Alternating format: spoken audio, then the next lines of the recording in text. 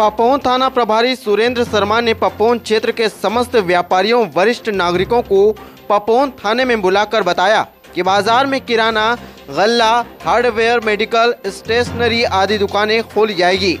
वहीं बैठक के दौरान थाना प्रभारी द्वारा बताया गया कि दुकानों को खोले जाने से पहले दुकान संचालक व समस्त कर्मचारी को कोरोना टीकाकरण होना अति आवश्यक है। वही उन्होंने बताया कि कपड़ा, जूता, जनरल स्टोर, पान के ठेले नाइक की दुकान आदि बंद रहेंगे। बैठक में पपोन मंडल अध्यक्ष श्यामपाल तिवारी उपस्थित रहे। न्यूज़ इंडिया नाइन, सैडोल से अनिल पांडे की रिपोर्ट। हमारे सम्मानीय थाना प्रभारी महोदय जी ने सभी जनप्रतिनिधियों को बुलाए, जिसमें और सभी अपने पपौन बाज़ार के व्यापारी संघ को बुलवाया गया। सभी लोग ने आए और सबको शासन के नियमों का, कोरोना गाइड को लेकर के सबको समुचित बताया गया है, समझाया गया है। कि हमको कोरोना काल में कौन सी दुकान अभी खोलना है, किस दुकान के लिए हमको परमिशन शासन के द्वारा दिया गया है, किस दुकान को नहीं दिया गया है। वो सब व्यापारी संघ, माननीय थाना प्रभारी जी के मानने के लिए तैयार हैं।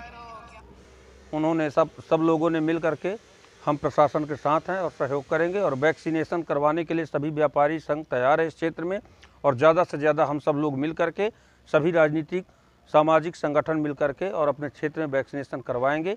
क्योंकि ये हमारी नैतिक ज़िम्मेदारी भी होती है। इसलिए वैक्सीनेशन हमारा क्षेत्र एक नंबर का शहडोल जिला में रहेगा। यह हम सभी जनप्रतिनिधियों का वादा है। क्षेत्र के आम नागरिकों, वरिष्ठ नागरिकों और व्यापारी लोगों की मीटिंग ली गई है।